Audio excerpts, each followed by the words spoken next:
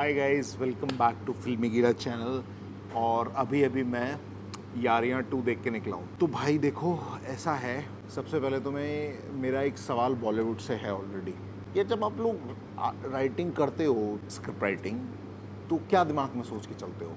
कि ऑडियंस को कितना बोर करेंगे? ऑडियंस बहुत फालतू है।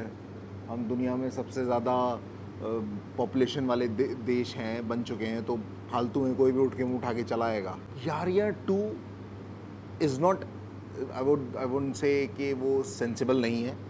सेंसिबल मूवी है। तब it's no no doubt it's not nonsense movie it's a sensible movie but मुझे जानना है कि यार, ज़रूरत क्या है इस कहानी की? सी तुम्हारी लाइफ में प्रॉब्लम है, मेरी लाइफ में प्रॉब्लम है। ठीक है?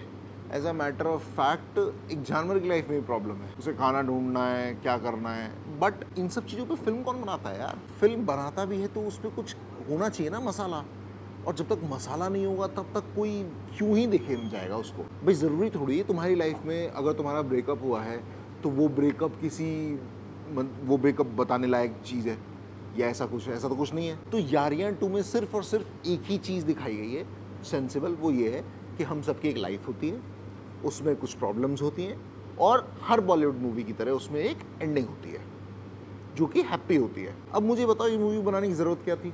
What was the point of making this movie everything is good. Like sensible storyline quite a good acting and uh, a little lengthy i would say. क्योंकि बहुत सारी चीज़ें ऑलमोस्ट ऑलमोस्ट प्रिडिक्टेबल ही थी। हाँ मैं पता है हाँ उसकी गर्लफ्रेंड थी उसने चीट कर लिया then she try to came back then they were trying to find out their own soulmate we know this like what are you trying to say with this movie मैंने पहले भी कहा है movie एक experience होता है। समझ रहे हो आप मेरी बात?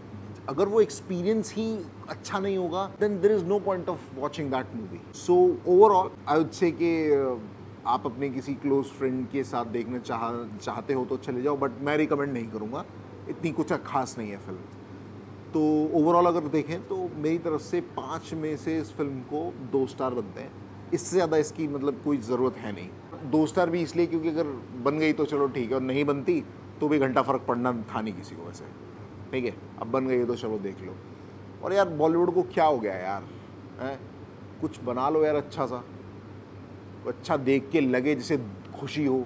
And take some inspiration from south movies यार south Indian movies you you go watch in go watch Leo I mean what a movie and please don't watch this Ganapath you know there is no point of watching that shit movie in my opinion it's a shit movie but maybe in, your opinion it's a bad it, it must be a great movie so सबका opinion है is just my opinion मैं अपना opinion share कर रहा हूँ बाकी the rest is your choice but जाने से पहले I would recommend I would urge you guys to please like this video share this video and comment down my negative things जो मैंने गलत किया है इस वीडियो को शूट के दौरान या कोई भी चीज़ मैंने गलत कही है please comment it down until then next time thank you